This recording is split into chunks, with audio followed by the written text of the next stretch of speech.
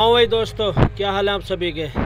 दोस्तों, मैं अभी सुबह का टाइम है और मैं हूँ आरटीओ सर्कल के पास। एकदम सुहाना मौसम है और ये पेड़ वगैरह देखिए, कितना विशाल, इतना बड़ा पेड़ है। बहुत सालों पुराना पेड़ है। कितनी लंबी लंबी टहनियाँ इसमें लटक रही कर रही हैं और ऐसी छत्र छाया देता है वो। मतलब इसके नीचे यहाँ पे स्टैंड में गाड़ी लगा के तबीयत खुश हो जाता है। और यहाँ से भी अपना टूरिस्ट गाड़ी वगैरह रुकती करती हैं और यहाँ से अपने भाड़े वगैरह होते हैं। चलो दोस्तों अब मैं चलता हूँ बेलगाम की वेजिटेबल होलसेल मार्केट ये भाजी मार्केट है दोस्तों, बेलगाम की। पहले ये छोटी मार्केट हुआ करती थी, दूसरी जगह। अभी ये शिफ्ट हो गई है और बहुत बड़ी जगह भाजी मार्केट है ये।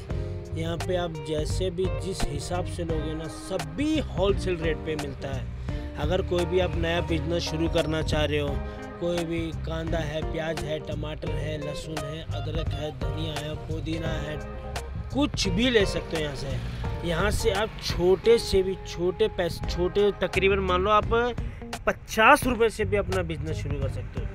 पचास रुपये का भी यहाँ पे कुछ लोग ना, और बाहर बेचो तो उसमें भी बहुत आता है। पचास रुपये से भी स्टार्ट कर सकते हो दोस्तों आप। ये ऐसी है भाजी मार्केट। और सभी होलसेल रेट पे यहाँ पे मिलेगा।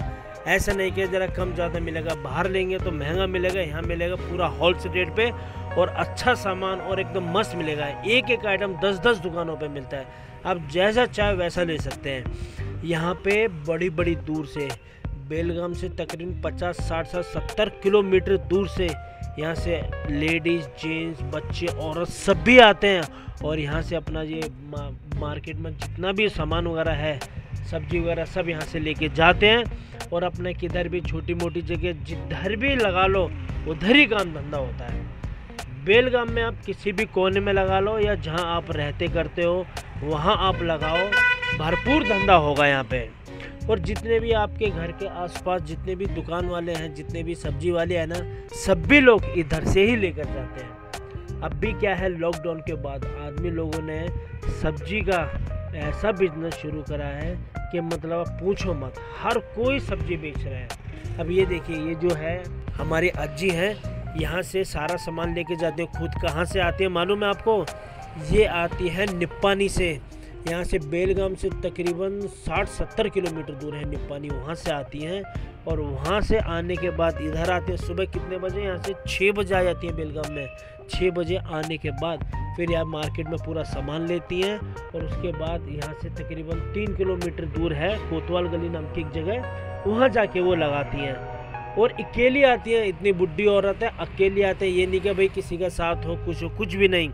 और देखिए, ऐसी गाड़ियों में भर भर के माल लेकर होलसेल मार्केट से यहाँ से पूरा माल भर के लेके जाती हैं और जितनी औरत ये सब अपना लेके जा रही हैं, फिर कि हर अपनी जगह अलग अलग जगह अपना सामान वगैरह उतारती हैं और फिर अपना बेचना, धंधा शुरू करती हैं। दोस्तों, देखो, इतना सारा सामान वगैरह सब ये गाड़ी में मैं लेकर आया हूँ और ये जो आप मार्केट देख रहे हो, ये अपनी मिनी मार्केट बोल सकते हो आप। मिनी मार्केट में छोटी मार्केट है।